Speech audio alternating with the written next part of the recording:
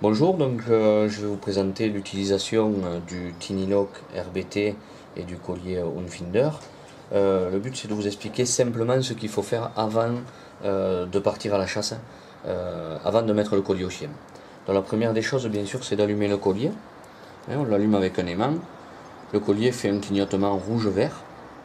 Ensuite il va clignoter que rouge, on va le voir tout à l'heure. Et ensuite il va clignoter que vert quand il aura pris sa position satellite. Euh, ce qui est important, c'est de ne pas mettre le collier au chien avant qu'il clignote vert. Hein, c'est que, bon là il fait, encore rouge-vert, c'est qu'il ait pris sa position satellite avant de le mettre, euh, de le mettre au chien. Euh, pour ça, moi ce que je vous conseille, c'est d'allumer votre récepteur avant de partir à la chasse et d'attendre que l'appareil vous marque GPS OK en bas. Donc là on voit qu'il bip en système radio tracking. dès qu'il va marquer GPS OK, on va le voir au niveau du collier. Donc là il fait le clignotement rouge. Et voilà, là ils viennent de marquer GPS OK. Hein, et notre collier clignote vert. Voilà. Donc là ça veut dire que ben, on peut euh, arrêter le récepteur et mettre le collier au chien pour partir à la chasse. Et si vous voulez plus de renseignements, vous pouvez visiter le site internet qui www.electrocanem.fr.